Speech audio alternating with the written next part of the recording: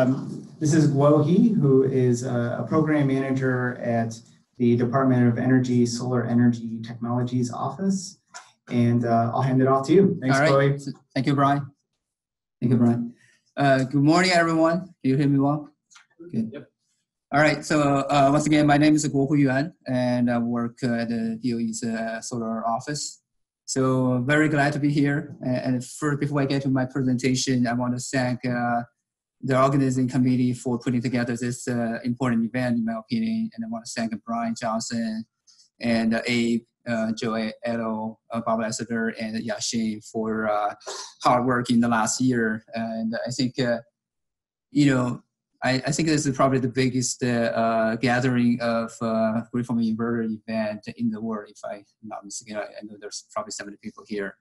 Uh, a few years ago, uh, when we were talking about the uh, forming inverter, I think that maybe just a handful of people know, uh, you know, at least in this context what we're talking about. But now I'm really excited to see uh, the faces and the caliber people uh, who are here today. So um, I want to just give an overview of what we are doing at the DOE's solar office and talk about a, a lot of exciting work that we're doing in this space. And I would say that this is one of the most exciting areas uh, in, in, our focus, uh, I would say, in the next uh, number of years. Um, and uh, I'll, I'll, explain why. On the screen first.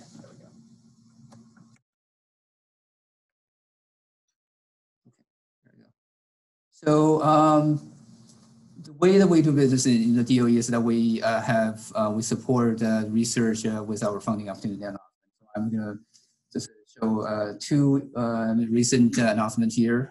one is currently on the street.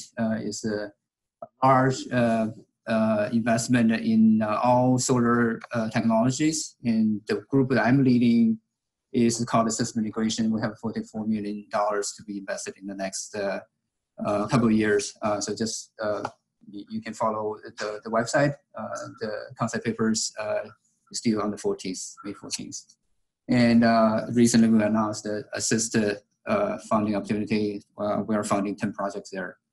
So, uh, and just, you know, this gathering, kind of gathering is important for us to develop our program to understand what the research community is thinking about the next big problems and uh, we'll uh, support that uh, through our uh, funding initiatives. And it's not just the solar offices, it's, this is a uh, DOE as a whole, we have a grid modernization initiative. we're collaborating with other offices to tackle some of these really hard and complex problems. So uh, one of the uh, the best success stories in the wind solar industry in the last decade really the cost reduction. I'm not showing this on the slide, but it's really the, the cost, significant cost reduction solar. So in the solar space, we're talking about, the, you know, most of you know the Sunshot uh, initiative, which uh, we uh, targeted to reduce the cost of solar by 75% by the end of the decade. That was accomplished um, uh, in 2017. So uh, dollar watt was com- accomplished and that spurred the, the rapid growth in the uh, you know installation of solar. Uh, as you can see in the graph here, this is from EIA.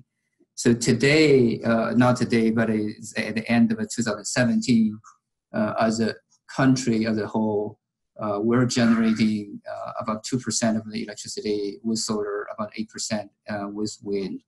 And, and that's only going to grow uh, in, in, the recent years, right? That's the 2017 number. And if you look at, uh, you know, in geographic areas in different locations, uh, you know, the, the chart on the right, you can see that uh, in California, they're meeting their electricity demand uh, with solar about 15, 16%. That was the 2017 figure. And it's more than that today.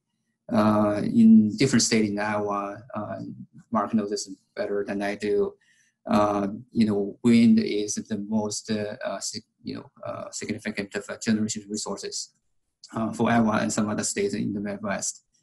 So, and, you know, we are at the cusp of a paradigm change at this point with the increase of renewables and storage as well. All of these are based on uh, inverters and power electronics for their generation. And uh, so I think that's why we're here. Everybody just a sense that there is uh, a, a, paradigm shift. There's an opportunity for you know doing and operating, uh, designing and operating the grid in a different way. And I think uh, there's a lot of exciting work to be done. Uh, you know, in the future, in the next probably foreseeable future for us to to look at. So here is a, another uh, snapshot of uh, you know uh, just instantaneously how much penetration wind in California. So this is uh, uh, we're talking five minutes uh, intervals that we call five minutes intervals. in California, you know, in 2018, they were they had 45% penetration for wind and solar I mean, actually, utility solar in in, uh, in September of 2018, and uh, you know, wind and solar and other other renewable together, uh, they were serving 74, almost 74 percent of the load uh, in a five minute interval. So you know, instantaneous penetration is much higher. And a lot of these renewables, if we just talk about wind and solar, they are you know power electronic based systems. So we are already there. So it's it's not a hypothetical issue It's a, is a, is a real issue now. And um, part of the uh, solution today uh, without the forming inverter is curtailment, right? And a lot of wind and solar are being curtailed uh, just for the reliability and safety of the grid. So now coming back to what we do at the DOE's uh, solar office uh, in our system integration program. So we're supporting, again, the research development demonstration uh, grid integration solutions for solar energy uh, with uh, you know reliable, uh, resilient, secure, and affordable uh, attributes uh, all those solutions. So we look at the, as you can see that in the, this diagram, we're looking at both power system integrated solar as well as distribution system integrated solar. So those have different type of challenges. And we have also uh, focused on the other layers, so to speak, and the communication layer, where a lot of the controls, digital controls, need to com- need communication, and cybersecurity layer that is a you know uh, new topics and new priorities uh, for the DOE as uh, as a whole. Uh, obviously, you have to consider the market layers uh, as well, um, and all of these are actors and subsystems that are uh, interlinked together. So we cannot look at uh, each component by itself. We have to look at uh, the system as a system of subsystems, right? So this is a really just a kind of a, uh, exemplification for our approach to look at the problem to address these problems. Right? A system approach uh, for grid innovation. We're not just uh, looking at the individual technologies. Obviously, we have focus areas, but uh, uh, we really want to understand the, interconnection, interdependency of different these different technologies, and uh, look at it from the system perspective. the pyramid really is talking about you know the uh, how we organize our research, uh, starting from the enabling technologies and power electronics, is our uh, fundamental enabling technology for solar. And we go up the, the chain and look at uh, you know how you can put these uh, uh, enabling technology together uh, into the situation awareness and controls and go all the way go all the way up to planning operation the grid services. Right, grid services is the, the level that the customer and the, the suppliers meet right uh, in the market, both at the transmission distribution level. Um, so uh, the biggest challenge, as Mark said, I totally agree with that we're, we've been using at the DOE uh, variable renewable generation versus intermittent. I feel like that's the right term. Uh, we, have been trying to correct people uh, in nomenclature as well. Uh, this is a, uh, it's not bad thing because intermittent is a, it has a negative uh, in, in it, but this is really how it should be categorized. So variability is a nature of the wind and the solar generation just because of the, it depends on weather. And we do have a very good understanding of that variability where solar is a little behind wind, but we're catching up pretty quickly. So solar forecasting uh, is uh, an important uh, um, program, a sub program in our portfolio. Uh, so we look at the you know different forecasting horizons, both in near term and long term, and we actually currently have a solar forecasting research portfolio that is active uh, for, for a year now. Um, so uh, we we also have a PV plus storage program. Uh, this is called Shines. Uh, this uh, is the last year of that program. Basically, we're looking at the synergistic uh, um, controls and optimization between PV and storage. And Mark actually mentioned that uh, as well. you know, there's a lot of benefit to be gained by looking at the PV storage and load control together rather than looking at them individually. And uh, you know, there's a lot of uh, different uh, ways to to treat to look at it from a system perspective. But uh, uh, we, we actually have uh, some good successes in this area. Um, I'm showing the ComEd microgrid program in this diagram, and they recently they just made a major milestone in actually demonstrating in their PV plus storage plus control uh, in the island mode. They did the testing with a mobile generator. They, they were able to uh, open the switch and then run the, um, the microgrid uh, test uh, as part of the deliverable for the project. So that was very exciting. Um, power electronics, uh, we have uh, actually Jeremiah Miller and Harry, both from our program. They are managing this program now for, for the DOE solar program. And uh, so we're looking at the power electronics uh, in two perspectives. One is uh, to uh, look at the power electronics themselves in terms of um, controls and efficiency and reliability. But the, the more interesting aspect of this program is really looking at the controls from the grid interface perspective. And um, we're in the year one of, we're just finished year one of this program we have a lot of uh, uh, reports and results to report to the, to the community in the next couple of years. If you are guys are interested, you can come to me or both of them to get more information about the Power Electronic program. we we have a, a, program called ENERGISE, and this is really looking at real-time system operation at the distribution system. So basically, we're talking about uh, uh, employing a large number of sensors and communications to um, look at uh, the behavior of the uh, DER devices, whether it's you know PV or um, storage, and uh, understanding how they generate uh, and how they perform to inform the grid operating system uh, to better manage the grid. So we have a, a large portfolio there as well. Uh, this is, as I mentioned earlier, this is uh, uh, the, the most recent initiative from, from our program. This is looking at the situation awareness of the PV systems and using that asset to uh, provide uh, emergency or a backup generation for critical infrastructure. This is, uh, we have 10 projects here. We have just launched this program uh, a month ago forecasting, I mentioned that earlier. So this is the second uh, round of the forecasting. We're looking at uh, uh, both the forecasting techniques themselves uh, in terms of power and irradiance, irradiance first, and the solar power generation forecasting. But more importantly, we're looking at uh, integration of that forecasting knowledge into the system operation. Um, and actually, we have one project that is looking at benchmarking these different uh, technologies and techniques so that uh, the industry can understand, uh, uh, you know, compare the different techniques. Uh, cybersecurity is relatively new in our program.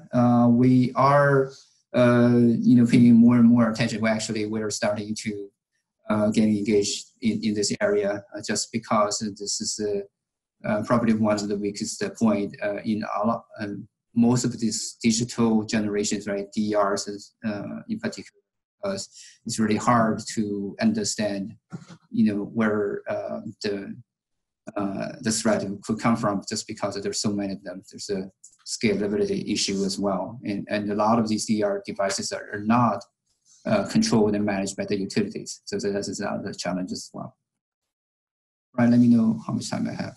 So, uh, so resilience uh, is a topic uh, on top of the list as well. I mean, I mentioned a few things uh, before. So reliability, resilience, security, affordability, right? Those are the four main attributes in the you know that in, in all our solutions. So resilience comes uh, up uh, you know more and more in the uh, national discussion just because of disasters, uh, whether it's a fire, whether it's a hurricane, whether it's a flood. So uh, we have started uh, looking in this area a few years ago, and this is a, a GMLC we call the RDS program that was started two years ago. And a few people here in the room are actually uh, the lead for some of those projects. Uh, so I'm just uh, I just want to mention this one project where Uh, it's led by uh, Sandia. Uh, they are looking at uh, connecting the resilience design of a community, a city, a community, with a consequence basis. So it's not just the you know power system resilience, but they're talking about the resilience of a community and how the resilience of a power system can support and help the resilience of a community. So they have a methodology to do that. And uh, the uh, one of their uh, you know key partner is a 100 RC uh, organization and a lot of cities that are helping them to understand the problem of resilience community design. I'm really excited about the, that project and, and the, the program as a whole. Uh, so by the way, all these are on our website. So if you want to know more about these, you can go to our website. That's its first start, and then uh, you can obviously come to to us to ask more questions.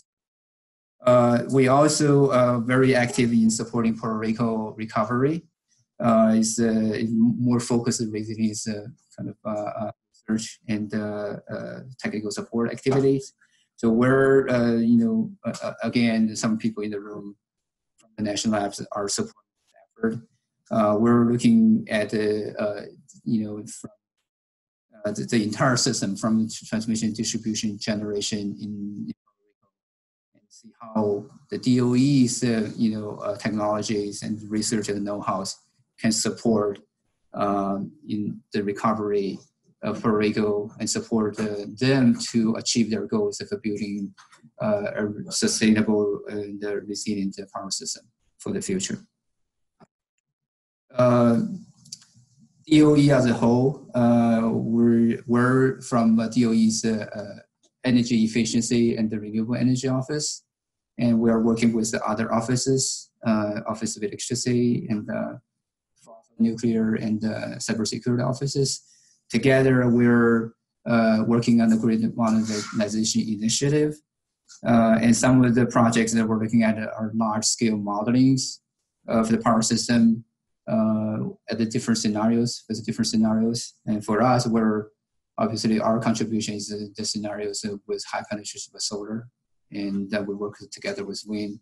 We're looking at the high penetration of solar and wind. Uh, and we also are working with uh, other offices to look at the, the, interdependencies of the different infrastructures, including natural gas, including communication, and the transmission distribution system. How to model this complex system to make it more uh, resilient. Um, and uh, so here is uh, another, people have probably have seen this many times. I just want to show it again because we're very proud of this work. This is showing that the renewable solar and wind as well is capable of providing grid services at a large, much larger scale. Right? This is showing that a 300 megawatt uh, solar plant, if you operate it at 10% below its uh, headroom before its capacity, um, in the capacity in, in the graph it shows that is a, you know it's a green line, and if you operate it at the right line, you know 10% below it, uh, it can follow the uh, automated uh, generator control signals very accurately. So it's able to provide that from a technical technology point of view, it can provide that services, falling, I mean the low falling services, um, you know, for for the operation.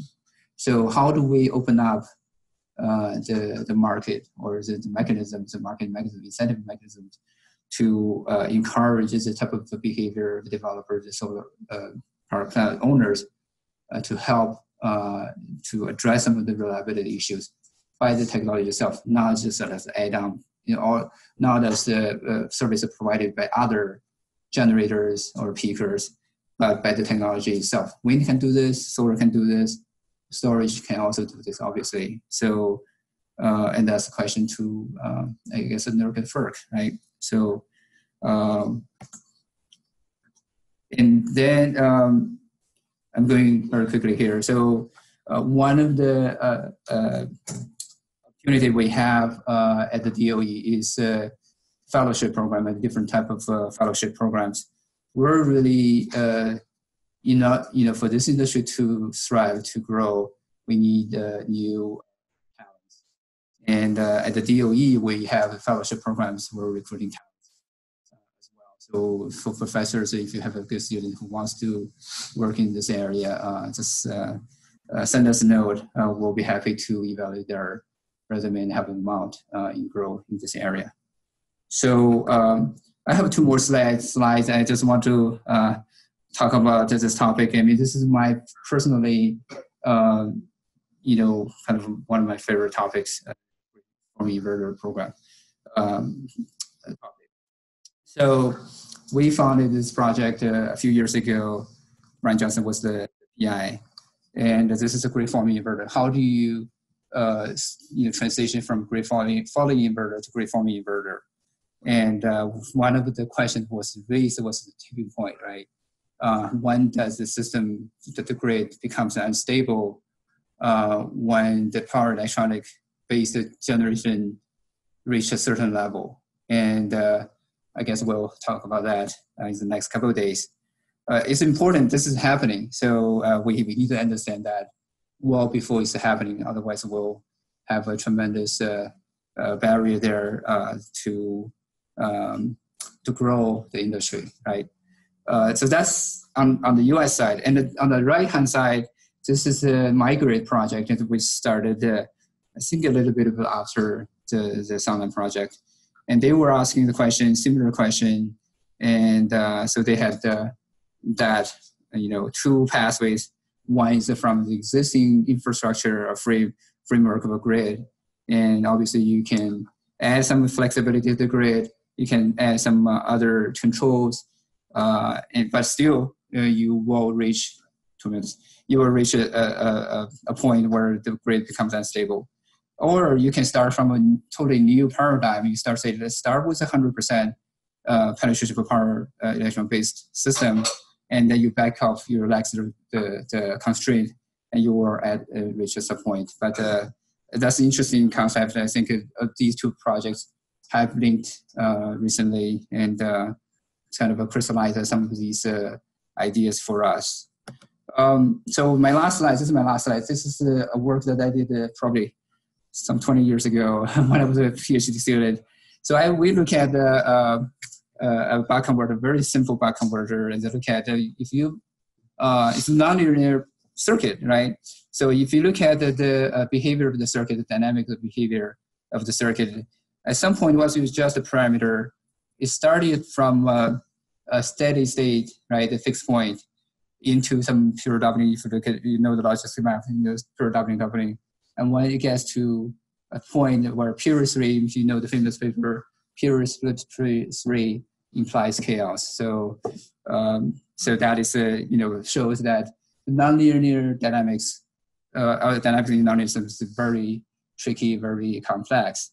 Um, and even for for the power electronics, uh, because of a lot of switching, uh, you actually can get into weird situations that we have to be careful about. Uh, you know, 2D the parameters, especially when you have a large system of those power electronics, uh, is very complex. I mean, this is a, why personally I'm this is my, one of my favorite topics. So with that, uh, I will close my uh, presentation. Thank you very much.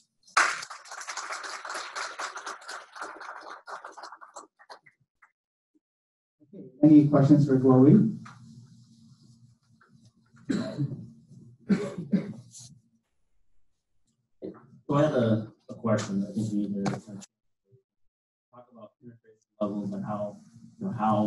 how much uh, renewables are able to be operated. I think we need to sort of change the, the question a little bit and say, how often do we have to curtail those resources? Because that's what's going to really affect how they really play into the market. And I think also if we start to look at some of these scenarios where we have uh, people saying they want more than 100% uh, generation, think about that. What that really means is that sometimes you have to be storing it. And so you may actually be storing more than you're actually providing to load. So now you're actually going above 100%. percent mm hmm So I think that's, um, we need to be a little bit careful about how we say we're there already. Because I think things get a lot more. Absolutely. Absolutely. Yeah, so this goes like goes back to what Mark said in terminology, right? Um, so in our ENERGISE for we actually put in the parameter called like a greater than 100% penetration, instantaneous penetration, just because there's export, there's a storage, right? Those options are there. Uh, so we, we do have to have, uh, I mean, one of the goals here is uh, uh to get, maybe get some uh, understanding and discussion about the penetration level. Um, and more than 100%. I mean, all these, you know, whether it's a utility or state or, you know, or even a city, even a country, right, in Europe, they are 100%, but that doesn't mean that 100% uh, independent system, right? They always connect to something outside, right? So they can export, they can import. So that is not equivalent to 100% we are talking about, right? When you have a 100% system that you have to operate, you know, 24/7, 365, that's a totally different ballgame, and this is why. Uh, you know, we have to be careful about what we mean by 100%. 100% in the city is easy, or you know, in a small country is easy, but uh, I would say easy, relatively speaking. But we have you know, as a US, it's, very hard to get to 100%.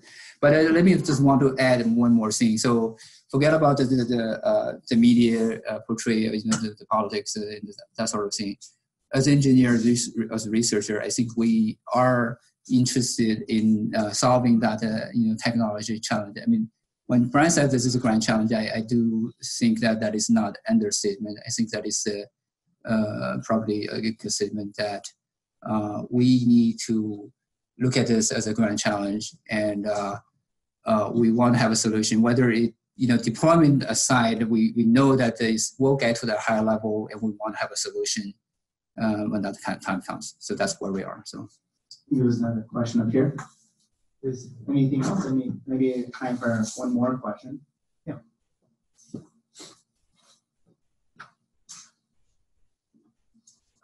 Hi, uh, this is not a technical question. Uh, what is your office's uh, uh, uh responsibility or, or involvement with the SBIR side of uh, solar integration? Because I'm aware there's current SBIR right.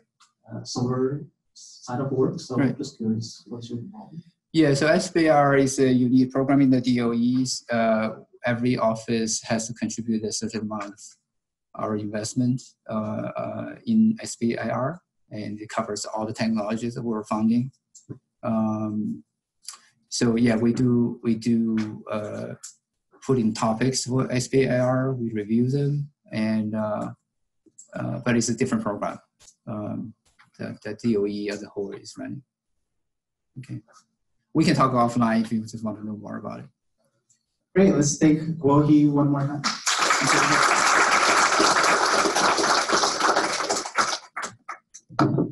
Okay, so we're going to take a, a, break here and just a couple comments before we do that. Uh, I do want to reflect a little bit on the way the agenda is put together and, and how we organize this.